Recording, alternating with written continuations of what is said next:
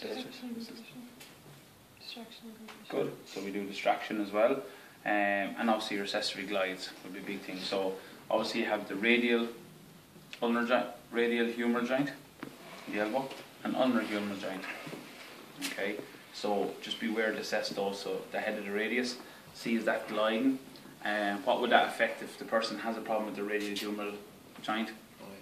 Pronation, exactly. So that's that's one everyone forgets about.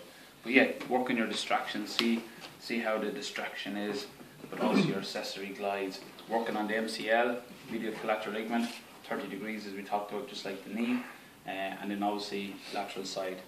So remember what we done for the knee. Because you're on the muscle belly, what tape do you use? Elastic.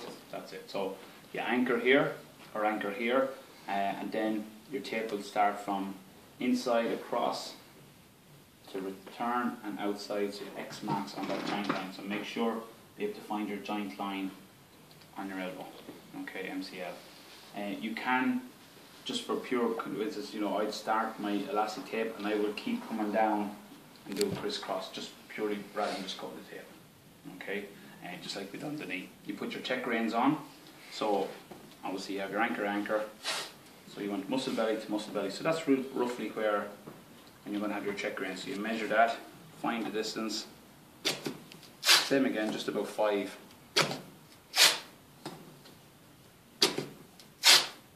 For a guy, I would say maybe three for a girl in terms of just size of their elbow. Once you get that, take it off. And then once you have your anchor tanker, find the position that they can go back into. So if Dave was here and he goes, right, let's try and go into extension, he goes, oh, pain there, then I'll block it, go back off it, and then put that tape down to stop him from going into hyperextension. Volleyball, this be classic volleyball one because players are to hit the ball, hyperextend, and we need to stop them from going into that hyperextension. But you'd also have to have this on for people with MCL and LCL as well. Um, remember when we we're doing the MCL, LCL, just give a little bit of a kink in the tape just to reinforce the tape. So if I was to come from, and I want to get that joint line across, we'd probably go from this anchor, come around, just put that little kink in the tape, around that joint, and just back up and cut it there, where you had your elastic anchor. And vice versa then, coming from the top, come down around, put the little kink in the tape,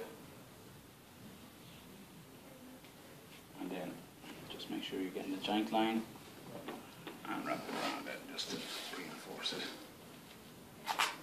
You probably do three of them and then you can do one down the side. That'd be loads, one down the side is enough here in terms of the, the size of the joint. That's it, and then re-anchor with your elastic, elastic. That's it, all done.